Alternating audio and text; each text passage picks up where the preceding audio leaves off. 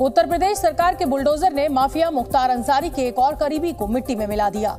सुबह होते ही लखनऊ विकास प्राधिकरण का बुलडोजर सिराज अहमद के अस्पताल पर पहुँचा और उसे ध्वस्त कर दिया। और लखनऊ के हुसैनगंज से जो तस्वीरें सामने आई उसमें लखनऊ विकास प्राधिकरण का बुलडोजर आलीशान एफआई अस्पताल को तोड़ता नज़र आया। बताया गया कि अस्पताल को नक्शा पास कराए बिना ही अवैध रूप से बनाया गया था। जाता है कि नक्शा जो है कॉम्प्लेक्स के रूप में पास कराया गया था और उसको अस्पताल बना दिया गया। इसलिए लखनऊ विकास प्राधिकरण ने अस्पताल को पिछले महीने सील कर दिया था और अब कड़ी सुरक्षा के बीच इसे मिट्टी में मिला दिया गया।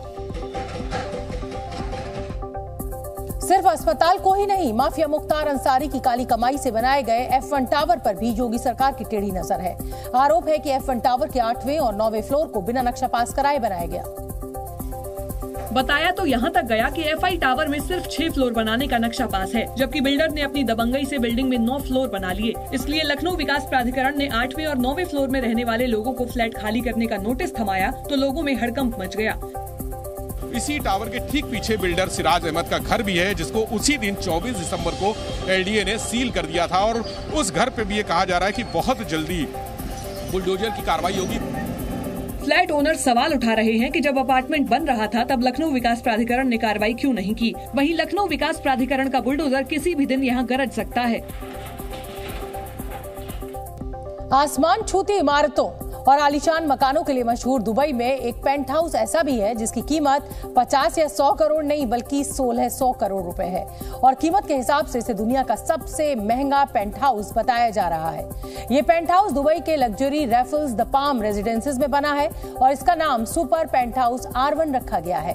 बताया जा रहा है कि ये पेंट हाउस तीन मंजिला है और सतहत्तर हज़ार सात सौ सात वर्ग फीट में फैला है। इसे बनाने वाली कंपनी का दावा है कि दुबई का सबसे बड़ा पेंट हाउस हाउस है। और इस पेंट हाउस में आठ बेडरूम, एक प्राइवेट लिफ्ट और एक थिएटर है। साथ ही फिटनेस के लिए इसमें जिम, बास्केटबॉल कोर्ट और स्पा की भी सुविधा है। पेंट हाउस के बाहरी हिस्से में आउटडोर पूल, एक छोटा गोल्फ कोर्स और टेरिस गार्डन भी है। पेंट हाउस की बालकनी के सामने देखने पर पूरा अरब सागर नज़र आता है। इस पेंट हाउस की बुकिंग शुरू हो गई है। हालाँकि बुकिंग करवाने वाले शख्स को ये पेंट हाउस सवा साल बाद ही मिल पाएगा। दुबई दुनिया में सबसे तेज़ी से उभरता प्रॉपर्टी मार्केट है, जहाँ निवेश करने वालों में भारतीय सबसे आगे है। विपक्षी एकजुटता का दावा करने वाले इंडिया गठबंधन में शामिल पार्टियों के बीच दरार भी देखने को मिल रही है। बंगाल में सीट बंटवारे को लेकर टीएमसी और कांग्रेस में तलखी दिखाई पड़ी। और इसकी वजह ममता का वो बयान रहा जिसमें उन्होंने कांग्रेस को लोकसभा चुनाव में दो सीटें देने की बात की थी। इसी से नाराज़ कांग्रेस नेता अधीर रंजन चौधरी ने भी ममता के खिलाफ बयानबाजी की जिस पर अब गठबंधन में शामिल दूसरी पार्टियों के बयान सामने आए।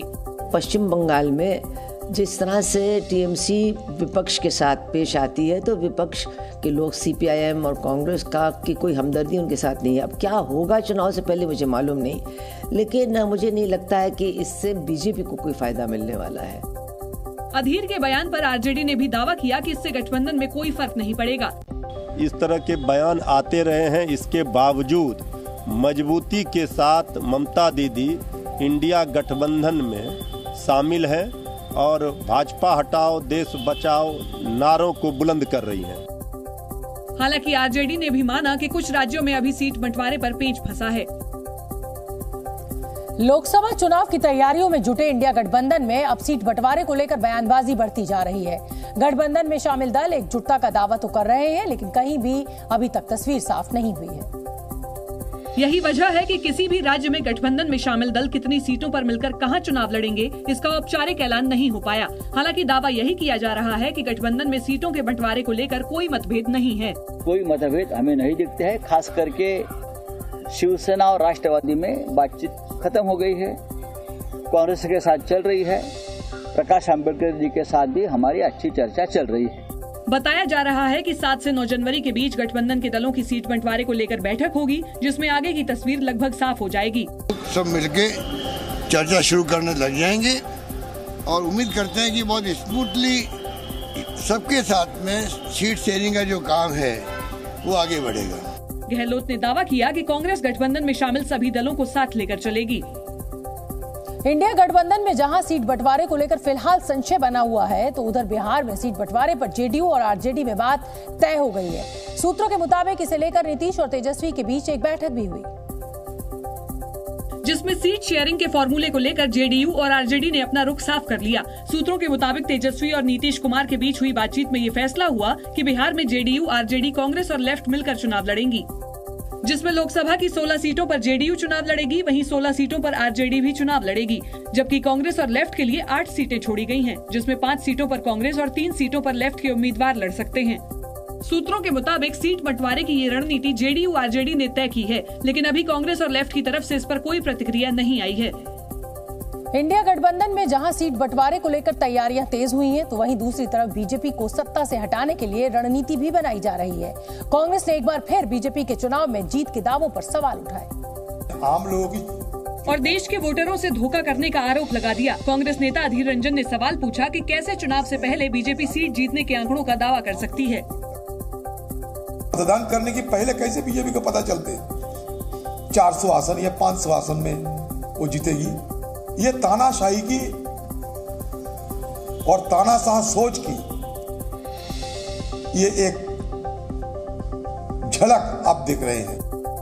विपक्षी दलों ने बीजेपी को घेरा तो पार्टी अध्यक्ष जेपी नड्डा ने भी उन्हें राजनीति का पाठ पढ़ा दिया। झूठ बोल करके राजनीति नहीं चलती। लोगों को धोखे में रख करके राजनीति नहीं चलती।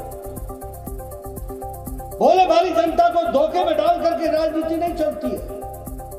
लोगों के साथ जुड़ना पड़ता है, उनकी सेवा करनी पड़ती है, उनकी तस्वीर बदलनी पड़ती है, उनकी तकदीर बदलनी पड़ती है, तब जाकर के राजनीति। नड्डा ने कहा कि झूठे वादे करने वालों को जनता सबक सिखा देती है। हमारे देश में ये माना जाता है कि अगर किसी छात्र को आईआईटी यानी इंडियन इंस्टीट्यूट ऑफ़ टेक्नोलॉजीज़ में दाखिला मिल गया तो उसका भविष्य बन जाएगा। इसका ताज़ा सबूत भी सामने आया है। आईआईटी बॉम्बे से जहाँ के 80 से ज़्यादा छात्र रातों रात करोड़पति बन गए हैं। आईआईटी बॉम्बे के करीब पिचासी छात्रों को सालाना एक करोड़ रुपए से ज़्यादा के पैकेज का ऑफ़र मिला है। छात्रों को सबसे तगड़े offer research and development sector से मिले हैं। साथ ही आई सॉफ्टवेयर और कंसल्टिंग सेक्टर में छात्रों को अच्छे जॉब्स ऑफ़र मिले हैं। बताया जा रहा है कि इस साल आईआईटी बॉम्बे के छात्रों को मिलने वाला औसत सालाना ऑफ़र करीब सैंतीस लाख रुपए रहा, जबकि पिछले साल औसत सालाना ऑफ़र सवा बत्तीस लाख रुपए का था। दिसंबर में खत्म हुए पहले फ़ेज़ के प्लेसमेंट में आईआईटी बॉम्बे के एक हज़ार एक सौ अठासी छात्रों को 1340 जॉब ऑफर्स मिले। हालाँकि बताया जा रहा है कि इस बार आईआईटी बॉम्बे के छात्रों को पिछले साल के मुकाबले कम ऑफर्स मिले हैं। नौकरी देने वाली कंपनियों Airbus Air India Google Apple Intel Morgan Stanley Reliance और टाटा ग्रुप शामिल है। इस साल भी भारत की अर्थव्यवस्था दुनिया में सबसे तेज़ी से आगे बढ़ेगी। यूएन ने अपनी रिपोर्ट में कहा, भारत की आर्थिक विकास दर लगातार छह फ़ीसदी के ऊपर बनी हुई है। यूएन ने 2023 में 6.3 फ़ीसदी जीडीपी रहने का अनुमान जताया था, पर रिपोर्ट के मुताबिक 2025 में भारत की जीडीपी 6.6 फ़ीसदी रहने का अनुमान है। नए साल की शुरुआत में गुजरात की company Jyoti CNC automation limited का आईपीओ आ रहा है। ये आईपीओ 9 जनवरी को खुलेगा, जिसमें निवेशक 11 जनवरी तक निवेश कर सकते हैं। ये company computer numerical control machine बनाने वाली बड़ी कंपनियों में से एक है।